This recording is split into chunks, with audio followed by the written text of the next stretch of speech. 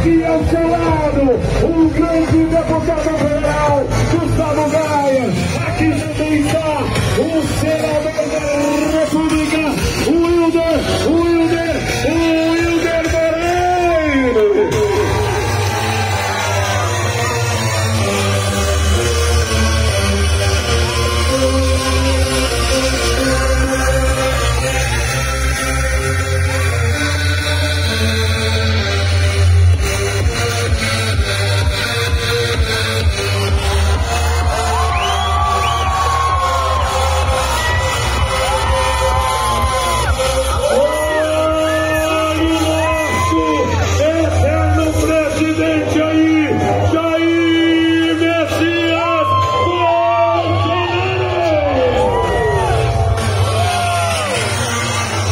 por um acaso.